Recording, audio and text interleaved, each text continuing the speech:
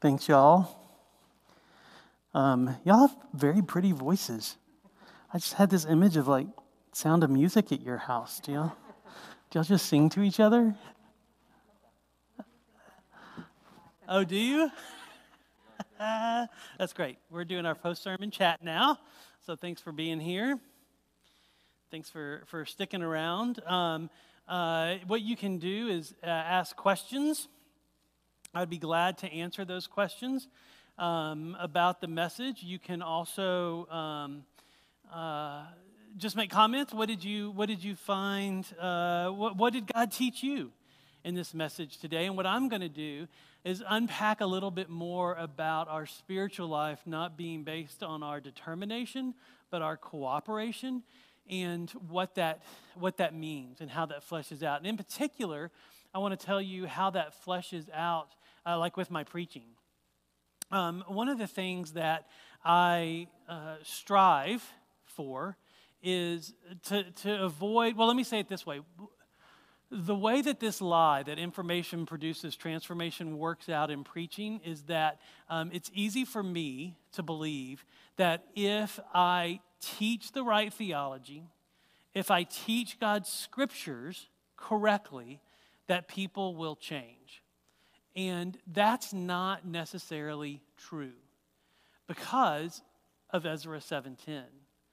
You see, he, he set his mind to study the Word of God and then not just teach it. If so, then, then that's what you have is you have a, a transfer of information. But he set his mind to study God's Word, to do it, right? To embody it, to live in it, and then to teach it. And for me, that's what I try and do with my, with my messages is I, I try and, and, and as I'm writing them um, and as I'm putting them together and studying them, I, I, I try to em, em, embody them.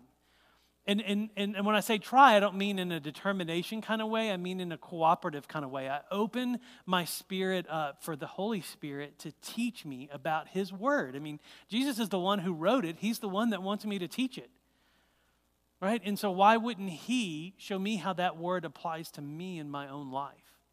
And so, what that means is that my sermons take time. Right? I, I don't write a sermon uh, the day before I preach it. I used to um, early on, but then somebody taught me, somebody discipled me on, on teaching God's word, that in actuality, the more time a sermon has to simmer, the more time I have to embody it and live in it. And so now what I try and do is I try and have a sermon done at least uh, seven days before I preach it. And I mean, manuscripted out. And y'all, it is a very rough draft. But what that does is it allows that message to simmer.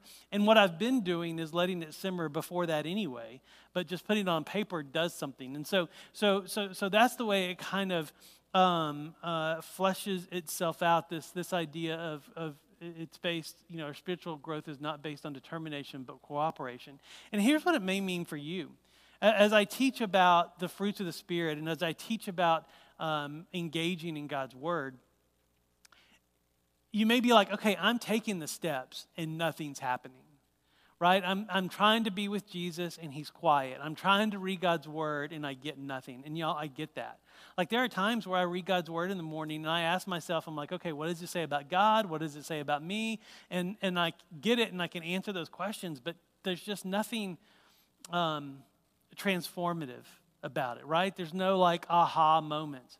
Y'all, that's okay. Here's what you do in those situations. When, when you're living life with Jesus and he's quiet or you're engaging in God's word and, and, and, and it's really nothing new and vibrant, then in those situations, you go with what you know, right? And, and what you know in walking with Jesus is that he loves you. And so cooperate with that, right? What you know about God's word is that there's truth there and so cooperate with that. Maybe, maybe listen to, to a pastor preach that day. Maybe listen to worship music that day and open your spirit up to truth to transform you and to shape you. And cooperate with what God is doing. So I'm going to chime in real quick and look at some questions. Feel free to say hello. I'm also going to move my chair up a little bit. Um, feel free to say hello and let me know that you're here. If you haven't already, uh, let's see what we've got. Um, All right, who all's here? I saw that um, John and Stacy Anderson are here on Facebook. Um, I see my son Luke is here. Hey, Luke. Um, watching at home. Um, Deborah is here. That may be Deborah Backen, is what I'm thinking. Courtney Sanders, the Monstrolas, the Cranfords. Hello. Stacy Baker. My wife is here, joining us from Brevard. That's where she is on a little mini retreat. Caparellis are here. Uh, Mary Massey is here. Tom Zaniga is here. Brian Hinch, Megan Meadows. Um, Hillary Anderson is here. Hello. Um, let's see. I think that's almost Julie Mitchum. Julie and Billy are here praying for y'all. Um, let's see. The Vernons are here. Hello. Uh, MC is here. Hope you're hope you're feeling great. You're right. Brian and Jan did do a great job. Uh, a lot of, just so you know, when you see the comments, a lot of people are very appreciative of y'all. So thank you for, for leading us. Um, let's see if there are any questions for us here. The Blankenships are here. Hello. Um, the Rosses are here. Hello. The Lytles, uh, Lytles are here. Uh, the Vogels are here. Hey, y'all. Um, any questions that you have? Uh, Amy Flagler, no, I'm not going to sing now. They have a good voice. I do not. I save my singing for the shower. Thank you very much. Um, let's see, a great reminder of God's truth. Thank you. We all need a reset from time to time. Definitely needing some refreshing. Yes, me too. Uh, the Smiths are here. Hello. Hello, Micah. Thanks for watching. Um, thank you, Brian Jan. That was beautiful. Appreciate Fred and the Bridges for focus on prayer. Thank you. Um, let's see. Brian Jen's bitches will continue after the sermon. Okay, there's that. All right, let's see if we've got anything on Facebook. Luke says, I dare you. I don't know what he's daring me to. I don't know that I want to know right now what he's daring me to. Um, let's see. Carol King also says, Loved hearing Brian and Jan lead us in worship and prayer. Um, what I would love to know is uh, to let me know. Yeah, to let yeah. You, a lot of you are letting us know that you're here. That's good. When you talked about the gold nuggets turning into a brick with time, it made me think uh, that it takes fires to make that happen. Oh, that's good. Well, in God's Word, it does talk about our life with Him is a refiner's fire, right? That that that a refiner's fire takes these metals that are full, full of impurities, and He heats them up. And and when and when you heat up uh, a metal with impurities, the impurities rise to the top. I think that's called dross, if I remember correctly. And, and, and he wipes that dross away so that there's something more pure left in there. And so that's definitely what God's word does. And it challenges us, uh, doesn't it? Like it shows us, it, it, it teaches us, and it rebukes us, right? It shows us where we're wrong, and it corrects us and shows us how to make those wrongs right. And then I love the part too that it trains us. Like I always, I, I, like to tell people, you know, you can learn in one of two ways. You can learn in the in the lecture, or you can learn in the lab. And if you learn in the lecture, you don't need the lab, right? And and and so if you learn in the training um, how to handle a situation before it becomes a situation, um, you don't need the, the rebuke and correction, right? Like, like you, you, got it, you got it in the training, which is good. And so God's word does all that. Let's see, John and uh, Jackie Perry are here. Oh, Luke's, oh, okay. My wife said she thinks that Luke is daring me to sing. No. No.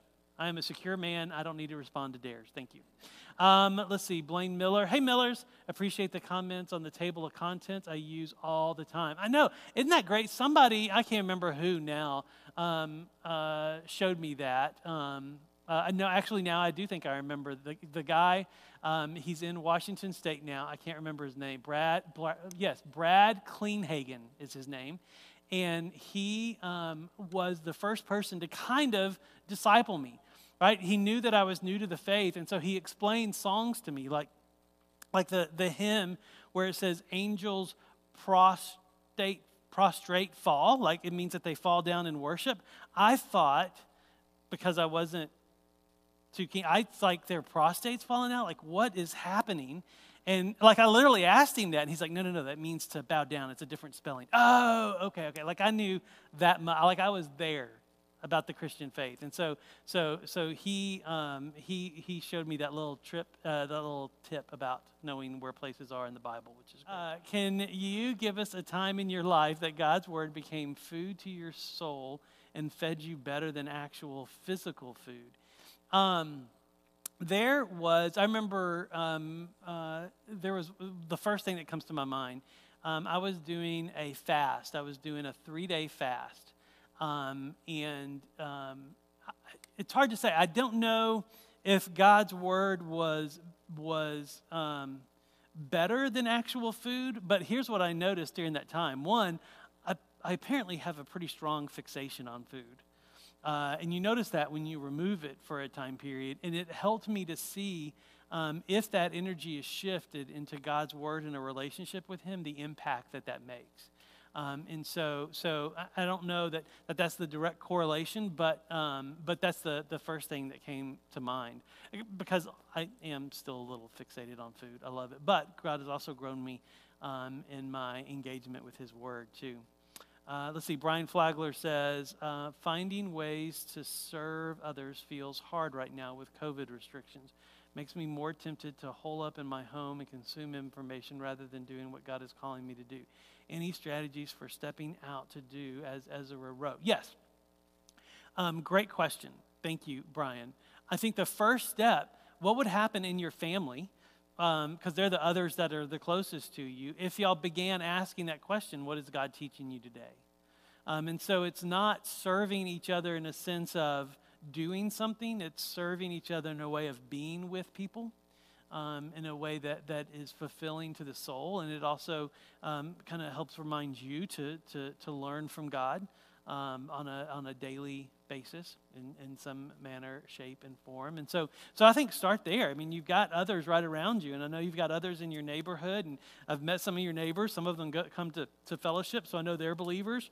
So start there and ask them that question um, and learn with each other and, and from each other. It's a good question.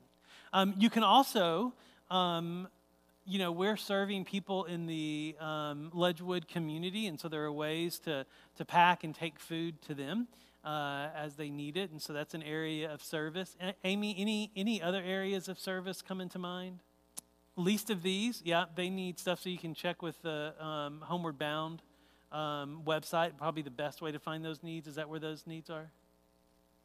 Oh, that's right. Least of these is something completely different. That's right. They're, they're, the least of the, I was thinking of room in the inn. Least of these is a Saturday morning breakfast. And they always need volunteers to help with that. And then how do you get in touch with them? Okay, you can email Amy and she can get you in touch with them. Uh, you might even be able to Google least of these in Asheville and, and their information might come up. But we can get that information for you. So that's a good way. All right, let's see. Other questions? Oh, yeah, Luke Baker did want me to sing. Joking. I'm glad you're joking. Um, okay, great. Well, we've only got a couple more minutes. Thanks for, for chiming in with us for this post sermon chat. Um, thank you again, Brian and Jan, for, for leading us through prayer and worship. Um, it was great, uh, great having y'all do that. I would like to do it again um, and not, you know, um, not just once. You know, like let's. I, I would love to wonder what it would look like if this was something that happened more than than than once. So so let's pray through that for sure. Church, I love you and I love being the church with you, and um, I will see you as soon as we can. Do, uh, if you're able to join us in person, go online and, and RSVP. You, that registration is open right now. You can go ahead and do it. Um, and I will see some of you on Sunday, and the rest of you, uh, you can engage with us online. Love y'all. Bye, y'all.